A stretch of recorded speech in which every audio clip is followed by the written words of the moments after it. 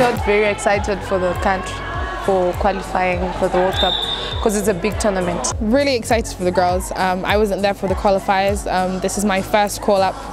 Um, I was called up because I play in the highest performing league in the UK.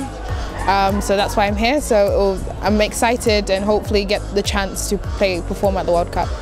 All we can hope for is um, at least two wins in our group.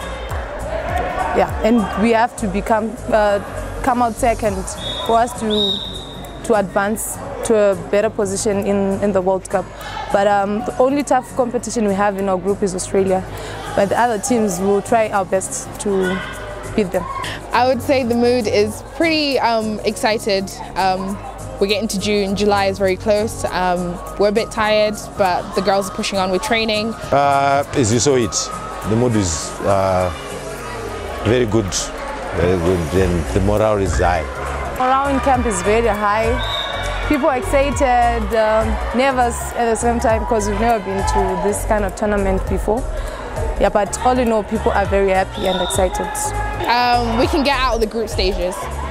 That's, yeah. I think all the girls, I think that's the stage that we're going to get to.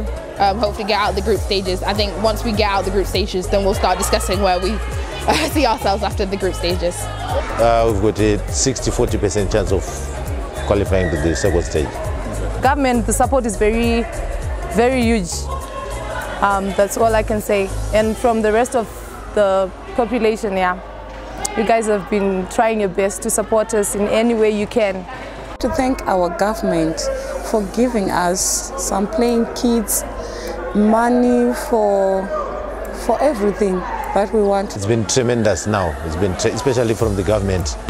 Uh, the government is our number one uh, supporter like now. They're supporting us very well and the corporate world is coming in and support us and everyone is behind us.